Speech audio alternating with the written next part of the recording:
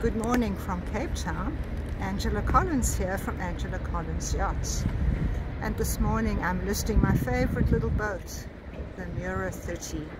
It's nothing to beat them. Welcome to our exploration of the iconic Miura yacht.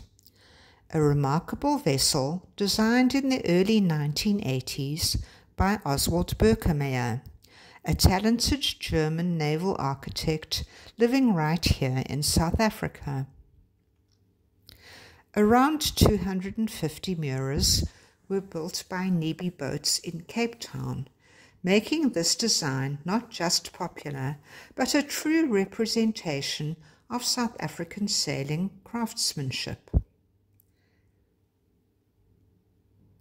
The primary purpose behind the Miura's design was to provide a more affordable option for sailors competing in the transatlantic Cape to Rio race, an annual event known for its challenging conditions.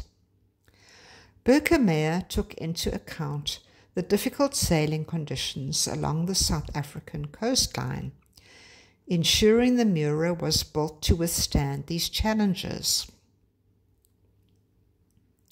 Designed according to international offshore rules, the Miura aimed for the best possible handicap rating, showcasing its racing pedigree.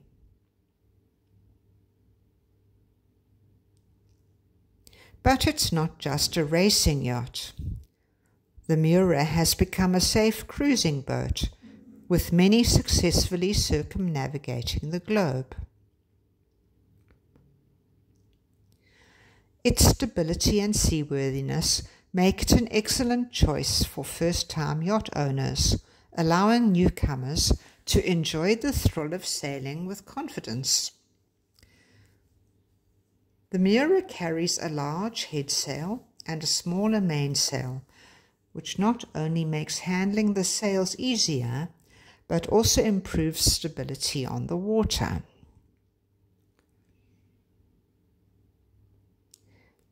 Additionally, the traveller is conveniently situated midway in the cockpit. This design allows you to operate the traveller from your position at the tiller, making it easy to sail single handed.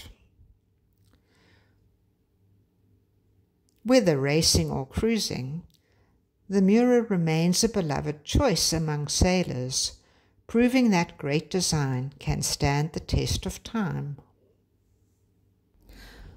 One of the standout features of the Miura is its rounded hull, which not only contributes to its unique aesthetic, but also provides more interior space. The galley is on the port side. That white table can lift up and be attached against the bulkhead. The nav station is on the starboard side.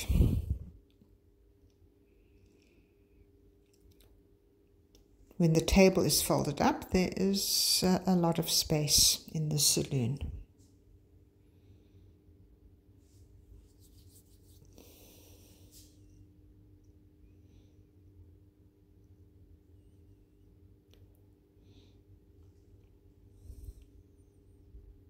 Moving forward, there's the mast and into the forepeak. There the heads are on the port side. And there's a double V, v berth in the forepeak.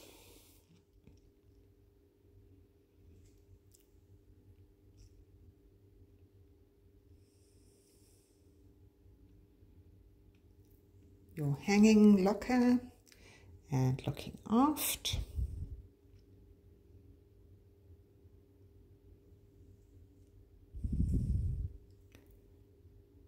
You have also a, a quarter berth and a single berth aft.